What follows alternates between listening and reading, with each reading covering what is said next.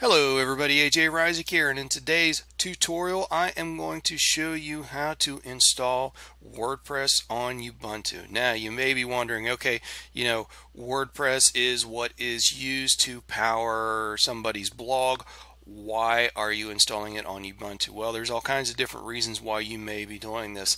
Um, you know, maybe you want to install it locally on on your home computer so that you can do a little testing of the beta versions or the nightly builds. Um, maybe you want to install it there and play around with different themes, try to figure out what's going to work out good for your blog. Maybe you're going to build your blog locally at home before uploading it to the server.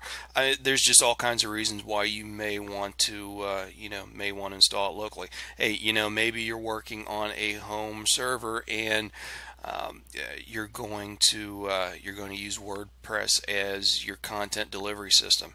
And actually, uh, speaking of that, jump over to the Freedom Penguin website, and Matt Hartley had a really neat idea uh, for a uh, a home recipe server um, yeah, using WordPress and uh, really really interesting idea. I've used WordPress for years and never thought of uh, never thought of using it in the way that he used it in that video. Um, so definitely jump over there and take a look at that.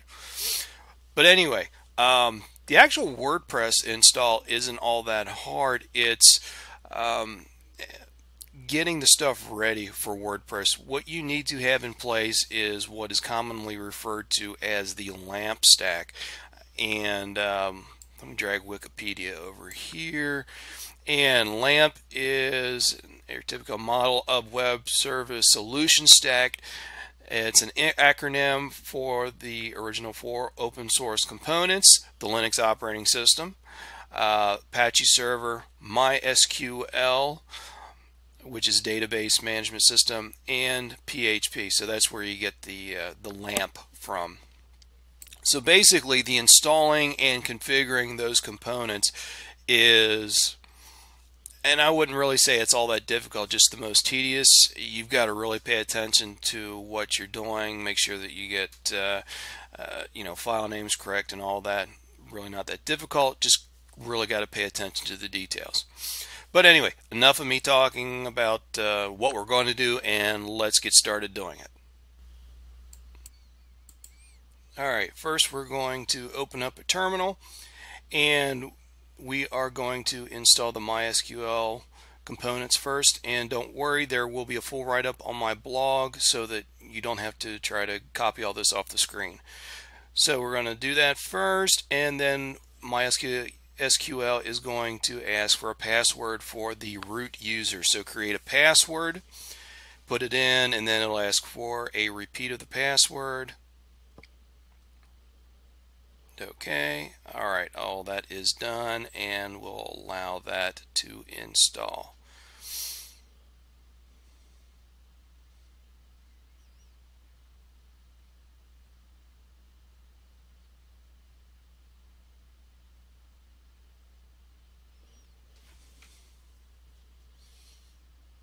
All right, all of that is installed.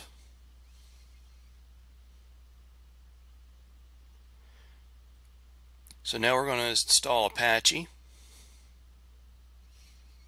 This part is fairly straightforward.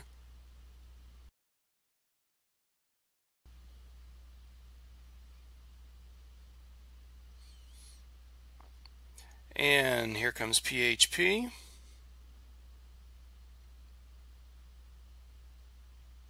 And we'll install that now. By the way, I am running this on uh, Ubuntu GNOME 14.04. Pretty much uh, any of the Ubuntu versions this is going to work on, and, and actually it should work on just about any Linux distribution. As long as you have access to, you know, basically these components here that I'm installing, and no problem. Alright, after that's installed, we're going to restart the Apache server.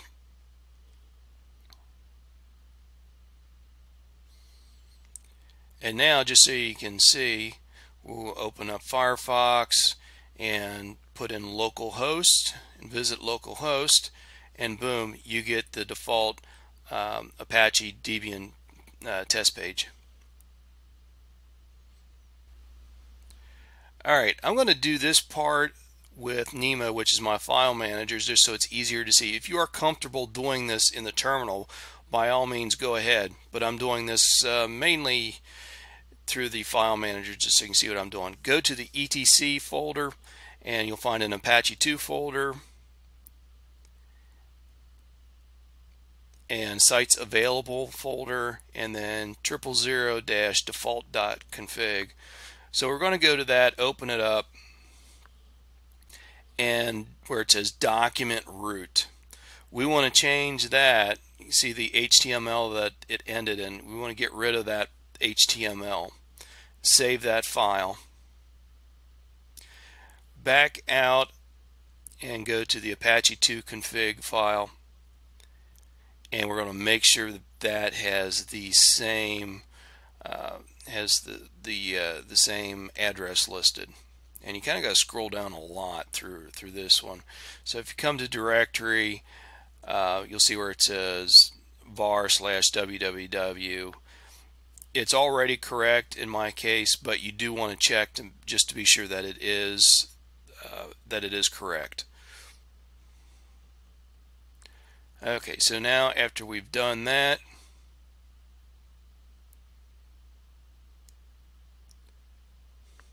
we are going to um, we're going to restart uh, the Apache server.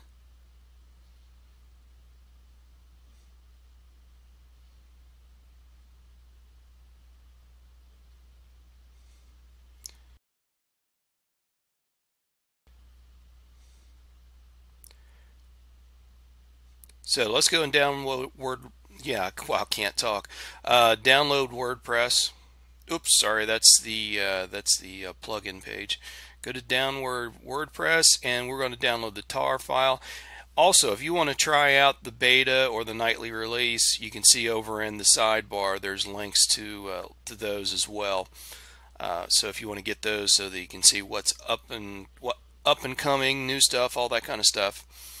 Okay, so we downloaded that, and once again, I'm doing this through Nemo so that you can see what I'm doing. Um, you can see where I downloaded WordPress, and we'll open up our file system folder and let's see what folder was that? Oh yeah the the var folder. Go to www and this is where you want to move your your WordPress download so once you get it there, you want to extract it.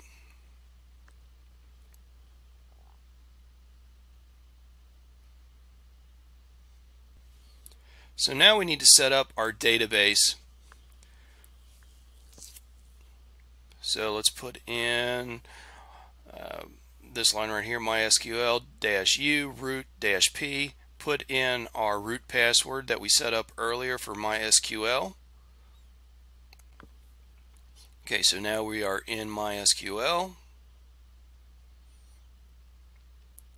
We're a database and I'm calling it Ubuntu underscore WP. Call it whatever you want, but whatever you name it, you need to remember this, write it down, or whatever you need to because you're going to need it later.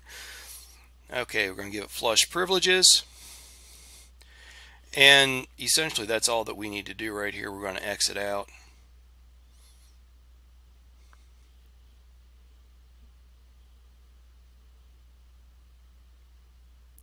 So with that done, we can open up Firefox again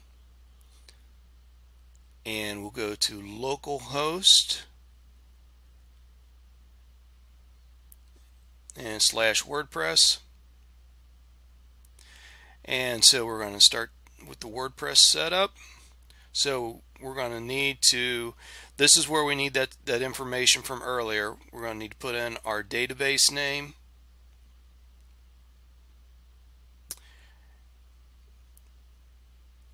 and the username which is root. Put in that password that uh, we created earlier.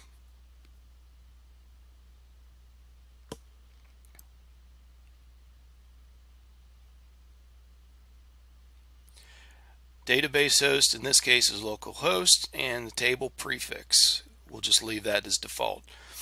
Okay, and so you'll get this message here uh, that it can't write the uh, the WP uh, PHP config file, and that is all right. We're going to open gedit with root privileges, and we're going to copy all of this uh, this whole text box here. Just copy all the text, paste it into this document. And we will save it as our wp config php file. And that is going to be located we just need to go to where WordPress is which is in that www folder go to the WordPress folder and we're just going to call it wp-config.php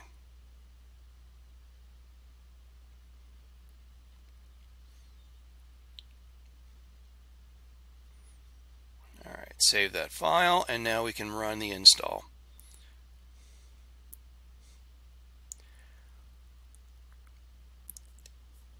So now we need to set up our site title create a username create a password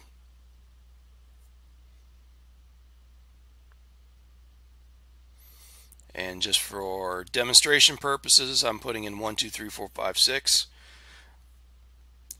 put in your email that you want uh, you want to use for uh, the administrator email.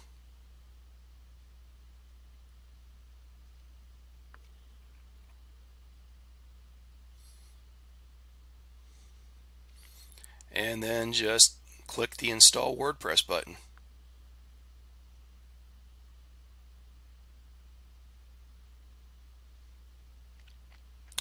And so here we are at the login screen for our WordPress instance. Put in your username and password. And boom, here we are at the back end of WordPress. And that's essentially it for the install. Just wanted to say again, there will be a full write-up of this tutorial on my blog page at ajreissig.com. There'll be a link down below in the video description so that you can go to that page and uh, and check that out. Um, was oh I did you know I mentioned earlier I'm on Ubuntu 14.04 or Ubuntu GNOME 14.04 um, and I know I know that from 14.04 on up to current versions that uh, MySQL and Apache and all that is um, updated enough or at least a, a, recent enough version that WordPress is going to run just fine. Um, earlier versions of Ubuntu, you may have to install some PPAs so that you can update the LAMP stack. Uh, I'm not sure on that, but at least from 14.04 on up, I know everything runs just fine. Um, so no problems there. And once again, you should be able to install this on any Linux distribution using the method that I just shown you here as long as you have access to the PHP, the, the Apache, and so on and so forth. Um, but having said all that, that about finishes us things up here. As always, comments, questions, all that kind of stuff down below. Please subscribe if you are not a subscriber, and I hope to see you all on my next video. Thanks a lot.